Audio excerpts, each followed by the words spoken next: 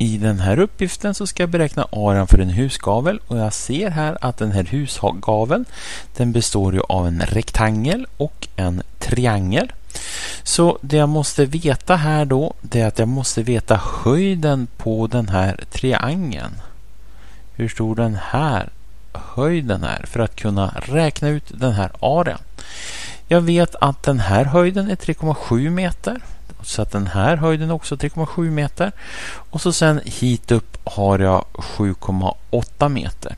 Så den här höjden då, det måste ju vara den totala höjden som är 7,8 meter minus den här höjden som är höjden på den här rektangeln. Så minus 3,7 sådär. Och det här blir då 0,1. och så sen 7 minus 3 det är 4. Så här har jag då 4 1,1 meter. Så då får jag skriva meter där. Så. Och hur stor blir då den här arean? Jo, arean blir då arean av den här rektangeln som är 3,7 multiplicerat med 8,2.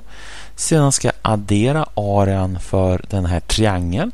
Och arean för en triangel är basen som är detsamma som den där.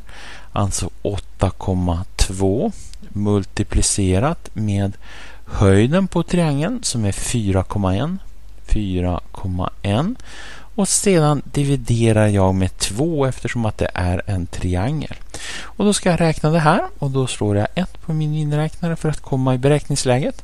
Och Sen skriver jag 3,7 multiplicerat med 8,2 adderat med och så sen det här då som ska vara i täljaren inom parentes 8,2 multiplicerat med 4,1 slutparentes dividerat med 2.